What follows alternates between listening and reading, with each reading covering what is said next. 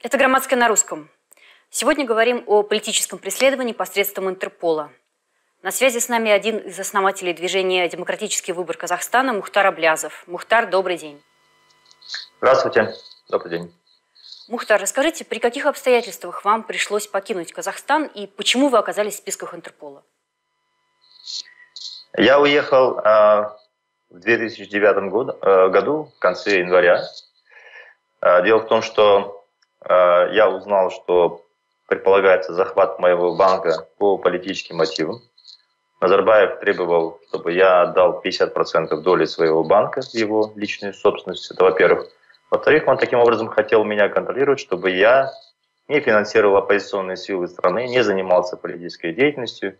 И буквально за несколько дней я узнал, что предполагается захват моего банка и соответствующий арест с обвинением в экономических преступлениях я успел покинуть Казахстан и уехал жить в Лондон. Это было в 2009 году. Вот. Ну, собственно, я там несколько лет занимался публичной активной политической деятельностью, э, поддерживал различные э, оппозиционные силы, э, партии оппозиционные. Но у нас, конечно, не такая ситуация, как в Украине, когда оппозиционные партии могут свободно работать, создавать штабы, функционировать. В Казахстане совершенно другая ситуация. Фактически а, любые оппозиционные силы подвергаются гонениям, преследованиям, нападениям со стороны спецслужб, а, руководитель сажает в тюрьму. И поэтому а, эта наша борьба происходила в очень сложных условиях. Вот. И в итоге все дело закончилось тем, что 31 июля 2013 года по запросу Интерпола, который был организован Казахстаном, и запрос сделали три страны, а, Казахстан, Россия и Украина. А, я был задержан 31 июля на юге Франции по запросу, в первую очередь, Украины, которая искусственно сфабриковала уголовное дело, сделала запрос во Францию о моей экстрадиции. Это было в период, когда страной руководил Янукович.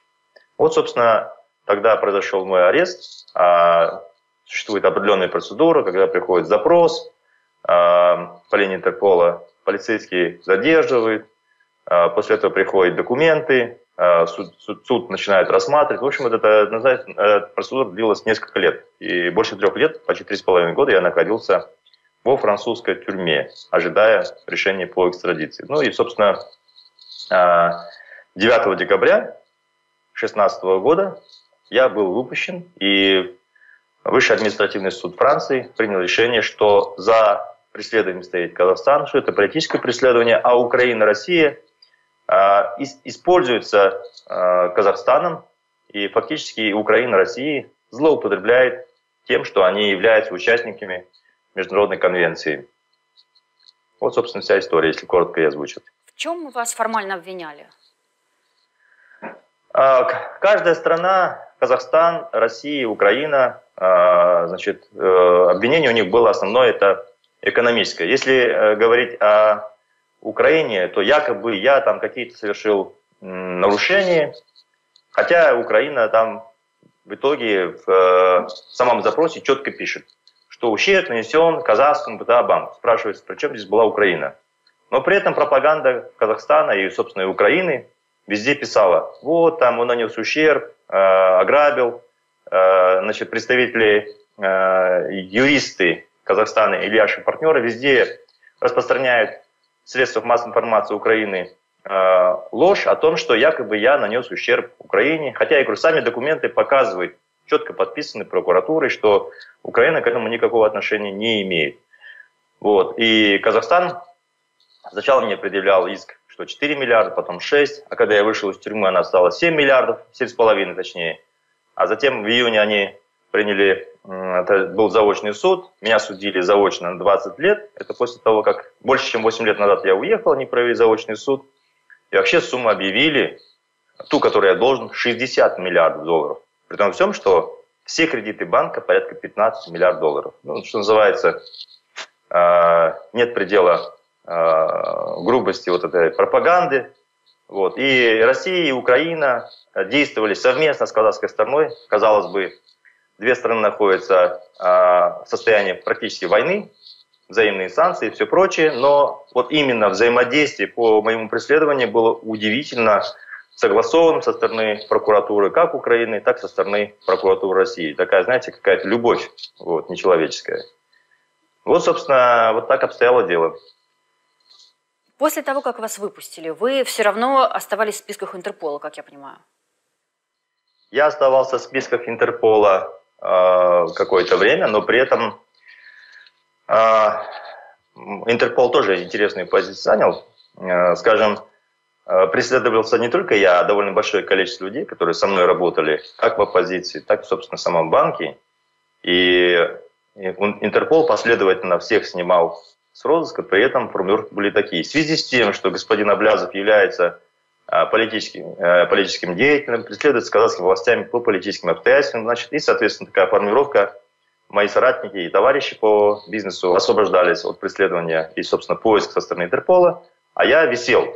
Вообще была уникальная ситуация. То есть всех освобождает э, из э, розыска Интерпола, ссылаясь на меня, а я сам находился в списке Интерпола. Ну, собственно, тем не менее, Летом а, Интерпол окончательное решение принял. Я получил формулировки, а, которые меня вполне удовлетворяют, которые совпадают с решениями а, суда, Высшего административного суда Франции. Что для этого потребовалось, чтобы вот э, быть исключенным из списков Интерпола? Что потребовалось? Ну, во-первых, сначала нужно было получить, самое главное, наверное, решение Высшего административного суда Франции, потому что Интерпол, на самом деле, имея тысячу доказательств о том, что я являюсь политически преследуемым. Еще а, когда в начале 2000-х годов я занимался политической деятельностью, было а, решение, резолюция Европарламента, в котором было, четко было озвучено, что я политически преследуемый человек. То есть еще в далеком 2003 году. И более того, все правозащитные международные организации объявили, что я являюсь политическим узником и политическим преследованием. К сожалению, Интерпол структура, в которой присутствуют самые различные страны, в том числе диктаторские, а, стал использоваться как инструмент преследования а, политических фигур или э, преследования вообще, скажем, не связано с уголовным преследованием, а именно когда те или иные страны фактически осуществляют монтаж и фабрикацию уголовного дела.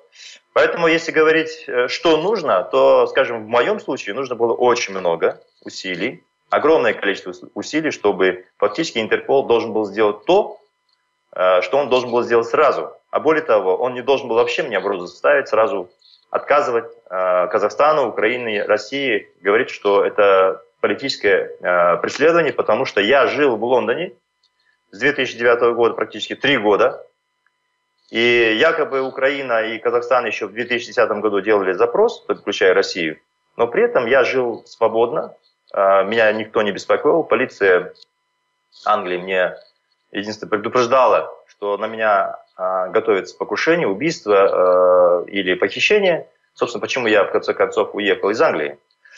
Вот. И все запросы со, стороны Интерпола, английская судебная система и, собственно, полиция, они полностью игнорировали. И почему это не сделала Франция, это отдельный предмет исследования. Это был шел четкий лоббизм, Здесь глава, а, бывший глава внешней разведки Скворцени был задержан, а, и сейчас против него уголовное дело возбуждено. Он обвиняется в том, что в том числе участвовал, лоббировал интересы Казахстана по преследованию меня. Вот. И в этом преследовании очень много э, сильных структур лоббистских участвовало, в том числе бывший премьер-министр Англии Тони Блэр и много-много известных политических фигур. Вот. Поэтому в моем случае а, для Интерпола что нужно сделать? Вопрос, он такой сложный и глобальный. А, хотя вот я думаю, что достаточно того, чтобы есть политическая мотивация, чтобы Интерпол не применял, а, скажем, свои возможности по поиску того или иного человека. В моем случае все было сложнее. Пока вы находились э, в списках э, Интерпола, в базе, базе данных Интерпола, какие у вас были проблемы? То есть как вам это мешало? Знаете, я даже не знал, что я нахожусь в списке Интерпола до своего ареста.